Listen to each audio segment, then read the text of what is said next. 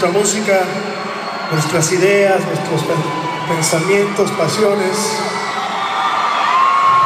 que siempre hablan todas nuestras historias y las historias de Latinoamérica.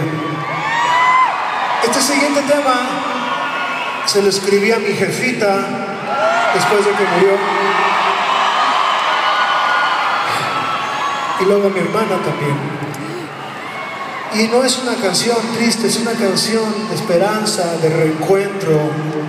Es una canción que me ubica en algún momento, en algún espacio, otra vez con ella y con mis seres queridos que se me han ido. Y también se la quiero dedicar a los de ustedes, a los seres que han despedido temporalmente. Esta canción va para todos ellos que andan por ahí volando arribito de nosotros. Esto se llama Buena Libre Paloma.